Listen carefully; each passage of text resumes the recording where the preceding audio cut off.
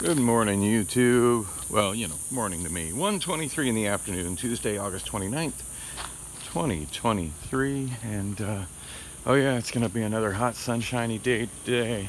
Although, somebody did point out to me that the forecast for this weekend is considerably cooler weather. The cute girl who works at the sandwich shop at the car rental center that, uh, uh, you know, it's killing me. I can't remember her name. I should know her name by now She's the one that doesn't give me my employee discount on the happy hour sandwiches. Um, not yesterday, but Sunday, uh, Andre actually bought me one of the wraps there. They have one that's a turkey pesto wrap. It's really good, but it's kind of one of the smaller sandwiches. And and yeah, it's six dollars and change. It just seems like too much. Now they do have a deal where it ends up being just shy of seven dollars with tax. Now they do have a deal where you can get two for 12. I'm not eating two of them. Andre uh, did the two for 12, gave me one. So that was nice. Um, and, and, and yeah, I told him that the reason I didn't get it when I saw that she was there was because she doesn't give me the discount that the other girl with the absolutely amazing breasts does. And he commented that he'd seen her recently, but that she didn't didn't he thought he didn't she didn't like him, which I think was funny. But anyway, um, yeah, she, uh, I don't know. Lately, every time I go there, it's usually just the, the young girl who pointed out the, the, the forecast is going to get cooler. I say young, I mean, she's probably in her early 30s, I'm guessing. Although it is that doesn't narrow it down. They're both they're both young. The one is the one is considerably more petite than the other. The one that doesn't give me the discount. But um, but yeah, yesterday she pointed out that the forecast is going to be cooler this weekend. Thank God. I am so sick of this heat. And then she also, um, uh, she had a guy that she had there working with her last night, which was odd to see somebody else there. And I think she was kind of training him, but uh, he was the one playing the music. They got a Bluetooth speaker that sits there, and they usually have it loud enough you can hear it through the whole center of the rental car center and kind of made my day. He was playing, uh, wow, not to completely throw this, but that's a CBI vehicle right there. That is a weird place for a CBI vehicle to be. Uh, CBI is the uh, one of the home, homeless outreach programs and detox programs. That's where my daughter went very odd that the city of Phoenix is letting CBI put their vehicles on the multi-use path since that car is like pretty much completely blocking the path. CBI kind of on my mind because I just recently edited a video where I was talking about CBI and how that's where my daughter left when she left the hospital. Which, uh, other, other than a couple of really uncomfortable phone conversations, I haven't talked to her since, and she's uh, she's back in back in Portland now. I got an address. Uh, apparently, she's texting Priscilla. She can't text me. I don't have a number I can get text at right now until I get my uh, other iPhone back. By the way, recording on my iPhone 7 Plus right now. Um, yeah, I'm on my way to work. I'll get my Success Plus back today. I kind of hose myself on that by getting into work after MLS office staff leaves for the day. But man, I just could not wake up yesterday to save my life. So, God, what the hell was I saying before I got distracted about the CBI vehicle there? It's like, I thought it was a security vehicle. I'm like, no, that's that's CBI. Uh, community Bridges, I forget what the I stands for. Idiots, I think. No, that's just the conclusion I came to after reading all the reviews of the facility that my daughter had transferred from the emergency room to. Uh, I don't think I've ever seen any place with more negative reviews. Like they were 100% negative reviews, and they were really, really negative. Oh. Uh, and there goes the northbound 44. I'm going to get a Lime scooter. I still got a day, like a day and an hour left on my subscription. I think, something like that. Yeah, I showed one with a full battery. Yeah, right over there by the bus stop. Uh, speaking of ones with full batteries, I, I know I've mentioned that Lime has changed how they do their uh, scooters since since the days when I was a juicer, and how now they don't have to pick up the scooters and have hot swappable batteries. The reason I mention that is last night, the scooter that I rode home, I wasn't able to ride at home. Well, obviously, I'm not able to ride at home because I can't take a Lime scooter to the other side of 46th Street. But the main reason I wasn't able to ride at home is because the um, I didn't have I didn't have any access to the internet. So I rode over to the Dirty Drummer over there where I could latch onto their Wi-Fi and ended my ride using their Wi-Fi. So anyway, I parked the scooter right there by their by their smoking patio in a nice, you know, convenient out of the way area. And checking the map today, somebody has gone hot swapped the battery on it, but they haven't moved it off the private property. It's still sitting there right next to uh, Dirty Drummer, so that's kind of cool. Anyway, I'm I'm gonna go over there in this video right here, so I got enough uh, shade to see to launch the Lime app because I know if I walk to where that Lime is, it's gonna be so bright I'll be struggling to see my phone screen. Hello and welcome back, YouTube. If you look really closely, you can see where I left my Lime, way down there. Figured I'd make a point to park closer to one of the doors that's actually open as opposed to uh, as opposed to where I normally park um, down there where the benches are where the other doors are that for whatever reason they leave locked at all times now. It used to be all doors to this building were open because this is a public transit station that's supposed to be available and open to everybody in the public but there's been been a very deliberate effort by the uh, city of Phoenix, particularly the uh, management of Phoenix Sky Harbor Airport, to limit who can and can't use this public taxpayer-funded transportation facility. So, anyway, I had my first really notable incident of road rage while I was riding the Lime scooter down 44th Street, and I wish, I wish I had some kind of body cameras or uh, or like glasses cameras where I could could have caught this because uh, it was it was something. And it was it was really something. Uh, now I, I, say maybe my first because I did have one time where a woman was like kind of right on my ass in a giant ass SUV which was crazy to me there's three lanes southbound for traffic on 44th Street and the two I'm uh, so of course I'm occupying the right lane I'm the slowest moving vehicle, my speed being capped at 15 miles per hour pursuant to city ordinance. And the, uh, the woman was like right on my ass. I just couldn't figure out how to change into the next lane over because the other two lanes were empty. And um, ended up like passing me, still occupying like half of my lane, which is insane. Anyway, my train is here. I'll, uh, I'll finish the rest of the story as soon as I uh, get to the other end of the line. All right, it's 1.56 p.m. I really, really need to start leaving from home earlier. Just sometimes it takes so much effort out the door. Like I'm, I'm almost out the door and then I realize I don't have my safety vest or my hat on. Uh, I actually remembered my ID badge this time, so that's worth something. So, um, um, yay. I, I, normally don't remember it, but I have an image of it on, um, actually in my iCloud, so it's accessible on both my iPhones. So if somebody really does want to push that issue, I got it. Although at this point, I think I'm just going to go full Karen if anybody tries to stop me from going on the SkyTrain because this is a taxpayer-funded public transportation facility that actually serves more than just Sky Harbor.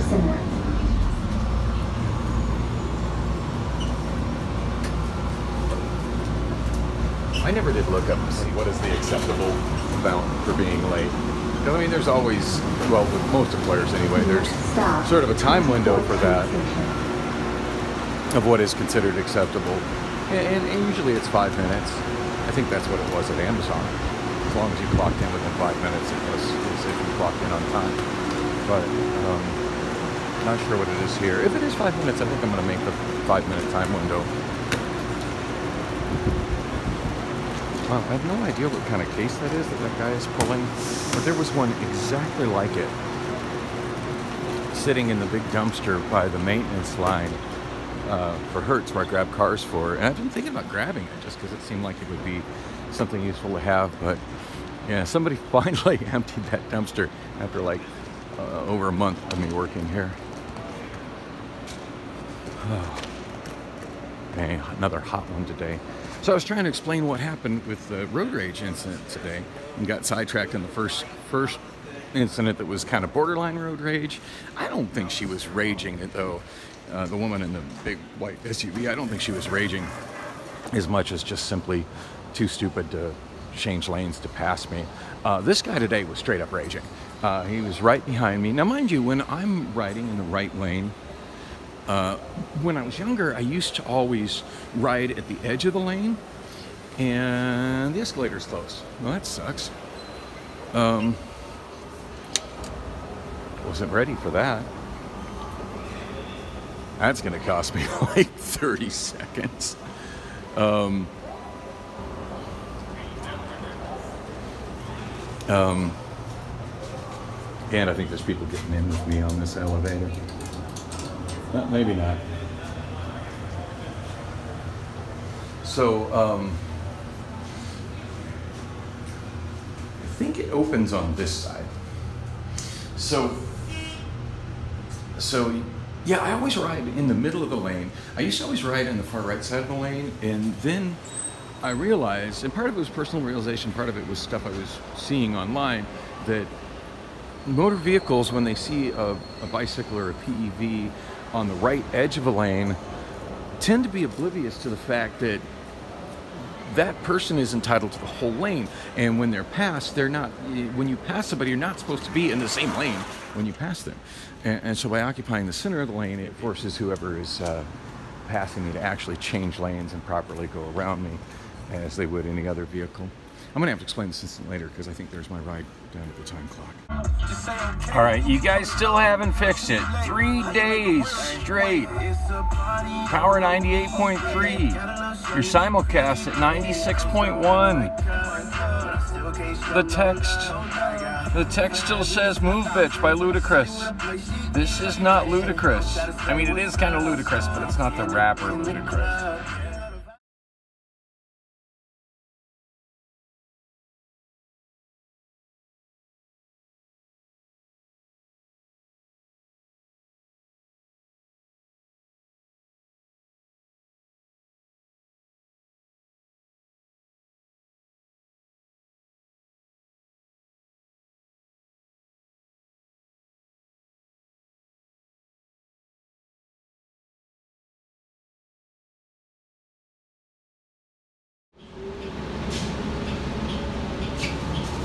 Whoa.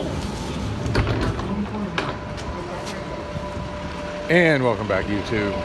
Yeah, I decided to take the bus instead of a scooter. I think I've got like 13 minutes left on my Lime Pass, which expires like 1.30-ish tomorrow afternoon. So I figured better to go ahead and take the bus home and save that one last ride for tomorrow afternoon since the bus was there and it was running and not canceled or anything.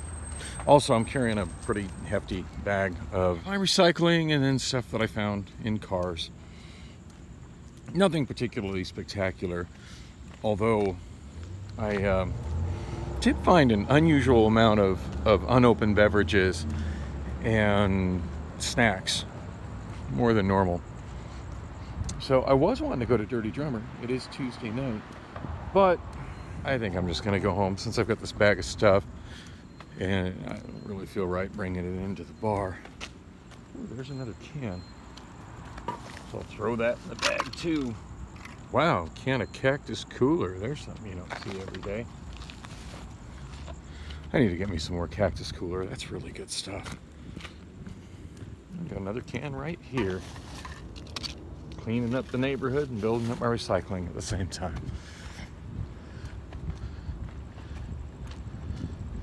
So I never did get around to um, explaining what the whole road rage incident was like today on the way to work.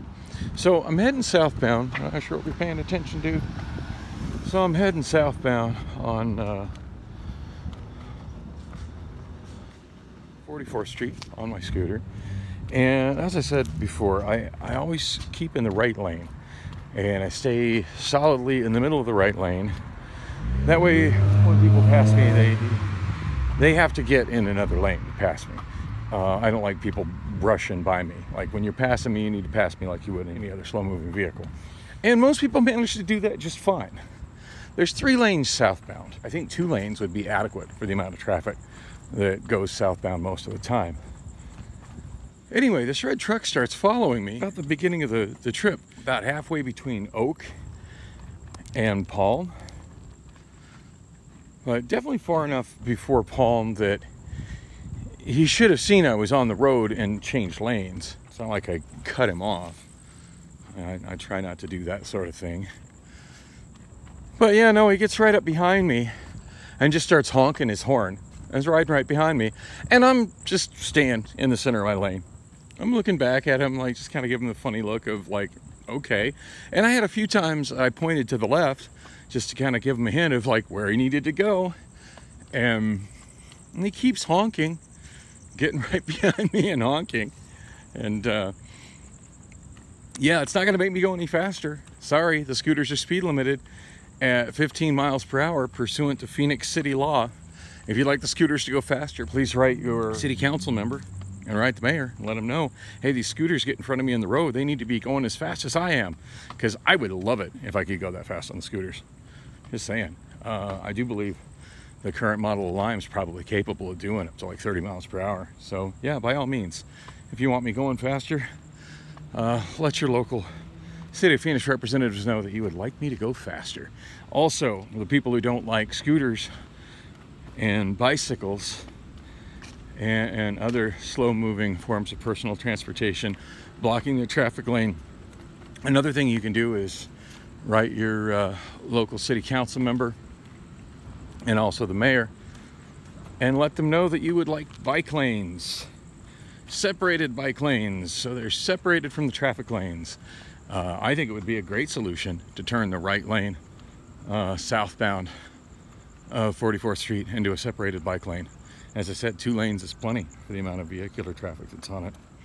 But yeah, that guy couldn't figure out how to get in the left lane. So I just pretty much rode my ass all the way from about, uh, I want to say about halfway between Oak and, uh, about halfway between Oak and, um, oh my brain's slipping into neutral oak and oak and maybe about halfway between I was about halfway between oak and palm and he stayed on my ass until probably about halfway between palm and mcdowell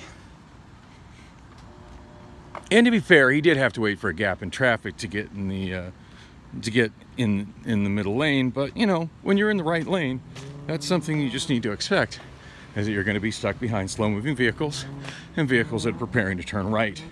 If you don't want that delay, don't drive in the right lane on a stroad. So, um, anyway, I, I figured when the guy got around me, he'd probably be done and it would be in, uh, you know, since he was in such a hurry that he had to ride my ass like that. But no, he turns into the Clean Freak car wash right before you get to the Del Taco. And does he go in and wash his car? No, no, he parks right, uh, you know, on the other side of the little little wall that separates the the sidewalk from the car wash there. But he parks right there, opens his door to his truck, and is standing outside of the truck so he can yell at me as I pass. You need to get on the sidewalk. Yeah, newsflash, dude. It's actually illegal for me to ride a PEV on the sidewalk. I'm pretty sure the city of Phoenix has an ordinance against it. And if they don't, it's certainly against Lime policy. It says all over the scooters, do not ride on the sidewalks. It says that in the app, do not ride on the sidewalks. Scooters are personal electric vehicles. They're to be ridden in the street and treated as other vehicles, which is how bicycles are supposed to be as well. Is that shithead? I'm not sure if it was or not.